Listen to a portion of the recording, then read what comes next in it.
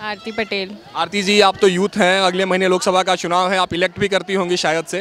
किसको प्रधानमंत्री बना रही हैं? अब मोदी जी खड़े हुए हैं तो मोदी जी को ही बनाएँगे हम तो? खड़े तो मोदी जी के साथ साथ एक इंडिया गठबंधन भी है राहुल गांधी भी हैं तमाम लोग उनको मौका क्यों नहीं दे रहे नहीं नहीं मोदी जी क्योंकि बाकी सरकार का कभी देखा नहीं और देखा भी तो इतना डेवलपमेंट देखा नहीं। मोदी जी के काल में सब देखा है जी ट्वेंटी भी हो गया अब तो इंडिया में जो कभी हुआ ही नहीं तो मोदी जी को ही देंगे। और कोई रीजन कि वो महिलाओं के लिए यूथ के लिए काम कर रहे हो? विकास दिख रहा हो आपको? वो तो सबके लिए काम कर रहे हैं तो उन्हें देंगे। बाकी तो अपने में ही लगे हुए हैं वो अपना ही फ़ायदा देख रहे हैं। मतलब सब अपना ही फ़ायदा देख रहे हैं बट उम्मीद उनके साथ कहीं भी नहीं दिख रही। मोदी जी के साथ दिख रही है। मोदी जी के साथ उम्मीद दिख रही है। राहुल गांधी में क्या कमी है? रहने दीजिए अब आलू डालिए सोना निकालिए तो ये तो नहीं कर सकते ना। कोई प्रधानमंत्री ऐसा बोल रहा है तो उस पर कैसे भरोसा कर लें? कोई क्वालिटीज जो मोदी में बहुत अच्छी लगती हो या मोदी तक आप पहुंचाना चाहते हो कि यस मोदी इज़ दिस या दैट कुछ भी ऐसा कुछ आपके भीतर चल रहा है? मोदी जी होमवर्क करके आते हैं। हाँ। उन्हें मतलब है उतना कि वो कहीं जा रहे हैं तो उन्हें पता है क्या बोलना है। बाकी जैसे राहुल गांधी को देख लीजिए उनकी स्पीचेस हैं वो खुद ही अप- खुद ही को मीम मटेरियल बना रहे हैं तो उनका कुछ नहीं कर सकते। बाकी मोदी जी तो होमवर्क करके जाते हैं हर जगह। एक चीज़ और वुमेन प्रोटेक्शन को लेके भारतीय जनता पार्टी ने कितना काम किया है? कितना आप लोग महफूज कितना सुरक्षित महसूस करती हैं जब घर से बाहर निकलती हैं? वुमेन प्रोटेक्शन की बात करें तो मतलब हाँ उनने वुमेन्स को बढ़ाया है बट प्रोटेक्शन का ऐसा कोई खास अंतर समझ नहीं आया। और भोपाल में तो अब और ही ज़्यादा वुमेन्स प्रोटेक्शन का सिस्टम ख़राब हो गया है क्योंकि अभी अभी तो बहुत ज़्यादा वो आप समझ ही रहे होंगे खैर मैं बोलना नहीं चाहती। तो वुमेन प्रोटेक्शन में ज़्यादा कोई अंतर नहीं आया बट अगर पूरे ओवरऑल देखा जाए तो डेवलपमेंट मोदी के काल में सबसे ज़्यादा है। इसलिए आप प्रधानमंत्री मोदी को ji. Thank you so much बात करने के लिए आइए और कुछ महिलाओं से बात करेंगे। और जानेंगे उनके भीतर क्या कुछ चल रहा है क्या चाहती हूँ किसको प्रधानमंत्री बनाना चाहती हैं। आप यूथ हैं कितना कुछ देख रही हैं इस देश के लोकसभा चुनाव को और किसको प्रधानमंत्री के रूप में आप? पीएम मोदी को। कि पीएम मोदी को देख रही हैं? हाँ हाँ। क्योंकि उनने बहुत कुछ करा है हमारे डेवलपमेंट के लिए इंडिया के तो आगे भी हम वही देखते हैं कि वो आगे वैसे ही परस्यू करा जैसे अभी उन्होंने अयोध्या मंदिर का निर्माण करा वैसे ही हम आगे आगे देखते हैं कि वो उसी हिसाब से चल चले और कुछ नहीं। सिर्फ़ अयोध्या मंदिर निर्माण विकास तो नहीं हो सकता है ना? आप कुछ बताएँ खुल के हमें बताएँ क्या कर दिया? बस खासकर हम ये जानने निकले कि महिलाओं महिलाओं के लिए क्या कर दिया ये बताते जाइए। चलिए। अंजलि वर्मा नाम है। क्यों प्रधानमंत्री मोदी बनेंगे? कोई जादू कोई टोना की महिलाओं नहीं कोई जादू टोना नहीं है। दूसरी पहली बात तो लाडली बहना तो है ही है। एंड इंटरनेशनल अफेयर्स जो हैं उसमें काफ़ी अच्छा प्रधानमंत्री जी ने छाप छोड़ी है। मतलब राहुल जी के तो इंटरव्यू देख के ही आप ऐसे आप इमेजिन कर सकते हैं कि क्या हो सकता है देश का। मैं ये नहीं कह रही कि कहीं घोटाला नहीं कहीं कोई घपलेबाजी नहीं है। बट मुझे ये मोदी जी की सबसे अच्छी बात लगती है। एक तो एडमिनिस्ट्रेशन के नाम पे तो ठीक है, पर एक्सटर्नल अफेयर्स में उन्होंने जितना काम किया है। अब हमारे देश को जिस प्लेटफॉर्म पे पहुँचाया है मुझे नहीं लगता इससे प्रीवियसली जो भी थे उन्होंने इतना काम किया होगा। मतलब आप अगर I am sorry to say but अगर आप मनमोहन जी को भी देख लें तो आप देख लेंगे उस पर बहुत काम हुआ है। और दूसरी बात काफ़ी सारी योजनाओं पे भी उन्होंने बहुत काम किया है पूरे इंडियन लेवल पे। अ, बाकी जो स्मार्ट सिटीज़ को लेके जो भी इनिशिएटिव है एंड स्पोर्ट्स के मतलब मैं खुद एक स्पोर्ट्स प्लेयर हूँ टेनिस खेलती हूँ मैं। तो मुझे काफ़ी ऐसा लगा है कि उन्होंने काफ़ी अच्छे इनिशिएट लिए हैं स्पोर्ट्स पर्सनस के लिए भी। तो बहुत सारी छोटी छोटी चीज़ें हैं। अगर आप बुरा देखें तो कहीं सब बुरा ही है। ऐसा और अच्छा ढूंढें तो लेकिन एक बड़ा फैक्टर बड़ा परसेंटेज इनके साथ अच्छाई वाली है। अच्छाई वाली है। मुझे ऐसा लगता है कि थोड़ी बहुत प्रोज एंड कॉन्स हर जगह हैं। हाँ जी पर अगर मैं राहुल जी को देखूँ या पहले वो जितने भी उनके कांग्रेस की तरफ़ से जो भी तो वहाँ बहुत ज़्यादा धांधली बहुत ज़्यादा पानी पानी और बिजली की कटौती और जो पैसा भरा गया है नेताओं ने अपने उसमें जितने घोटाले मतलब अब क्या नाम लें? अच्छा एक चीज़ एक सवाल और वुमेन एम्पावरमेंट और वुमेन प्रोटेक्शन को लेकर कितना बीजेपी सफल रही है? वुमेन प्रोटेक्शन को लेकर अगर आप योगी आदित्यनाथ जी को देखें तो वहाँ जिस तरीके की हम खुद यूपी से बिलोंग करते हैं हम लोग बेसिकली वहीं से जी जी।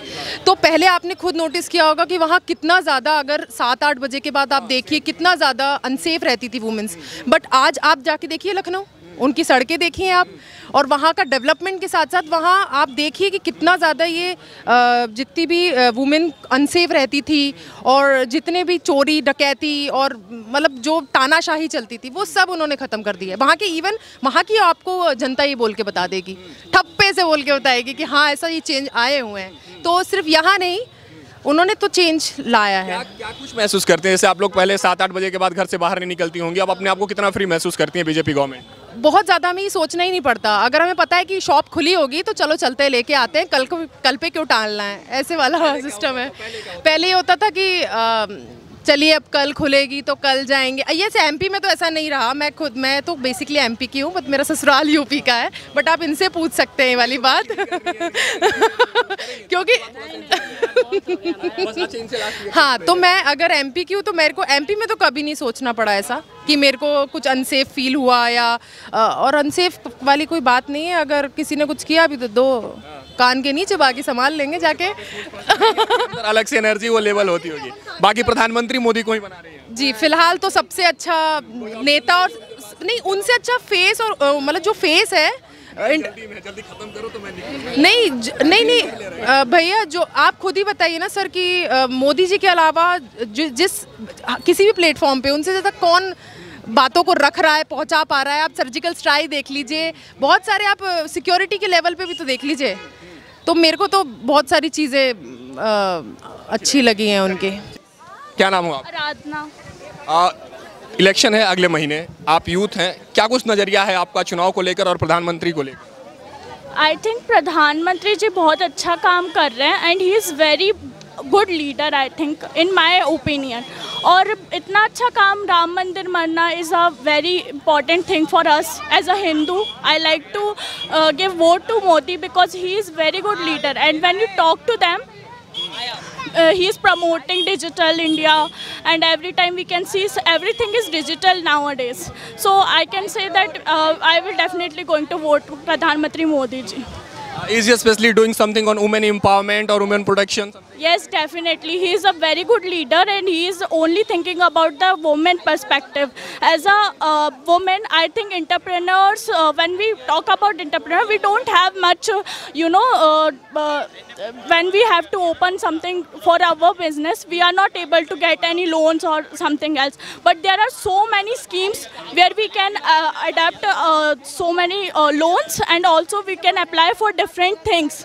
and they will provide you personally help and uh, uh, help with the help of Modi ji I can say that I am empowered uh, and I can be uh, a, an entrepreneur and I can be also a woman who made uh, her home very good uh, by helping to the digital marketing. With the help of digital marketing I can work from home also because digital marketing promoted so in that level so we can also work in uh, uh, home also.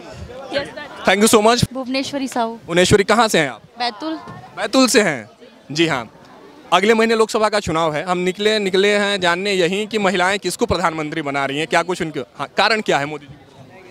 कारण। कारण बहुत से हैं। Important कारण ये है कि सबसे ज़्यादा कि वो हमारे कास्ट के है ना?